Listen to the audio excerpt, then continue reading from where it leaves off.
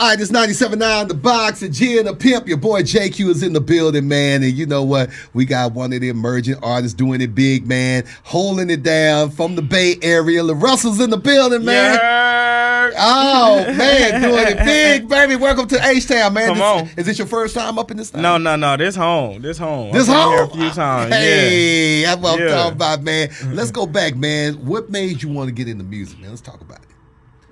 Life. Life. My parent, my parents playing music all my life. You feel me? Natural. It's a natural inclination. I just always took a liking to it. Oh yeah. So coming up, growing up, man, who was some of the people that you like like listening to when you were young? Everybody. Dre, Fody, Too Short, Pop, Hove, Nas, DMX,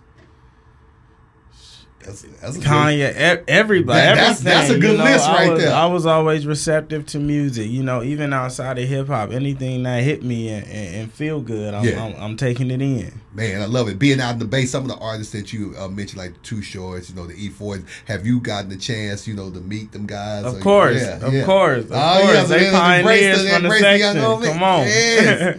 Man, they give you any what's uh did they give you any good advice, you know, being in this music industry because it could be a beast. Fody is full of advice, but really it ain't it ain't like advice through words, but through action. They laid blueprints for me to follow. You know, so the best thing they did was they action, and I was able to peep the game and, and go do my own thing. Man, I love that right there. Russell in the building. Since being in this music industry, tell me something that you really like about it, and then though something that you really ain't feeling about it, but you got to deal with. Um, I really enjoy doing what I love to do and meeting other niggas who do it the way Yeah. I do it. Like, you know, we on the road with T-Pain. I used to be in the living room watching BET 106 and Park and T-Pain Yeah. would come on. I never imagined that'd be a possibility and just meeting him and seeing that he's as human as I am is like huge. So that's the beautiful part of it. it. Is like meeting the people that you seen coming up that are like, man, never imagined this. Um the part I don't like is is the exact opposite of that. Meeting the people who are just like, ugh, I'd Yeah. rather not. yeah, you know, it's always the humans. You know, I had wrote I had wrote something the other day, and I was like, uh, the industry isn't evil; it's the people within it. You know, like Mm. in the industry is made of people. There's no industry that operate without humans. So if an industry is evil, it ain't it ain't the industry. The industry guns don't shoot themselves. You know. Man, I'm loving that right there. Russell in the building. Now you was br- mentioning T-Pain. That's one to ask you. T-Pain has has not been on tour in a minute. He's on a big tour right now. Definitely coming to H Town. Yeah. Um, and so, how did you get on the tour? How what was the discussion about? Because being on tour, T-Pain, man, a legend like different, different. Uh, man, we did a show together last year. He throws his own fest called Wiscansin Fest in uh Milwaukee, and they reached out to book me, and we we pulled up and we did our thing, and I got to meet him and the fam, and I just killed my set, and he was like, "Man, I gotta have you on the road with me," and it was a really easy process. It was it was it was an easy yes. Man, I like that. That's gonna be high energy right there. Yeah, man. you heard? Man, man, have y'all done any dates uh, so far? This is the first one. The first one. Houston, said it's the today. first one. This the first one. We kicking it off. Man, it's going down, baby. Yeah. Y'all better be in the building. Seven one three music. Oh man, it's You gonna be a movie. It's gonna be a movie. It's gonna be a crazy show. You know, me and me and Pain are like a similar human, so the energy is just out the roof. It's gonna it's gonna be a good time. And the we two run, the we test two run we two independent black men. You know, like it, it- that if that ain't worthy of support, and I don't know what is. No if, if somebody had never heard La Russell, how would you describe your style in music?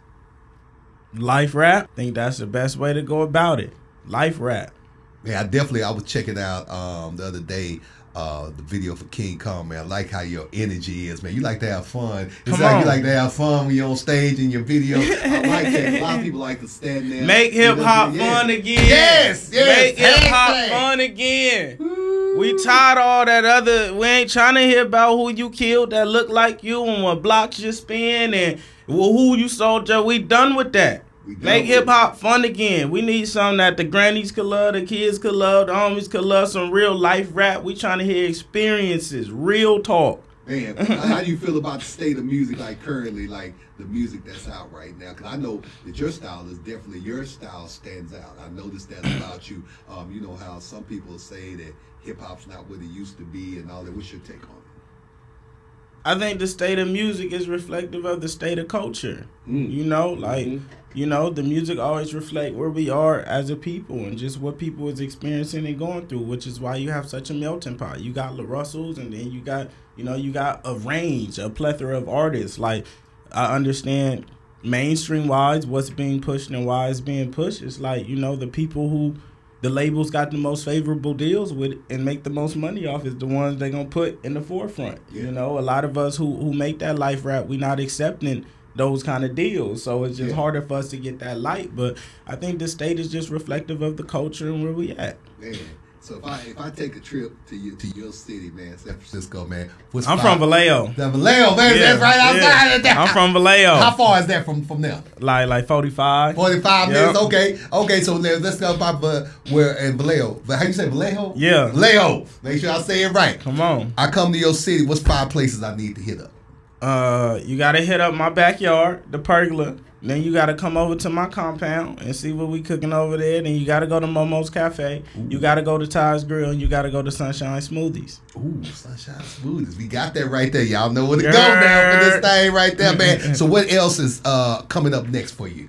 Everything. I know you got the project out uh, already with Hit-Boy and all that good stuff, man. What else is on the range? Man, a ton of life. You know, I uh I got tons of music coming. We just did some joints with Warren G, some joints with Timbaland. I got in with Bangladesh. I'm just I'm, I'm working. I'm getting all my infinity stones in hip hop. Yeah. want to go cook up with Bing. I'm just I'm just out here working. It's a whole lot of life. You know, it's not any specific. Probably I drop a ton of albums. You know, I'm not really like an album artist. I'm just an artist as a brand. So you know, I, I just suggest people follow and watch the movie and Yeah. see how it's gonna go. Now, see, see, you mentioned that you definitely working, you know, with with the the homie uh, and everything, great Yeah. producer and everything. So, I want to ask you, dream a dream feature and dream producer that you would like to work with. Now, I don't know if it's going to be Timbaland. I know Timbaland's a legend. You already got him on the pipe, but is it somebody else, producing wise and feature wise, that you would love to have on a project that would complement how your dripitation is, man? Mm, Dre and Kendrick, Ooh.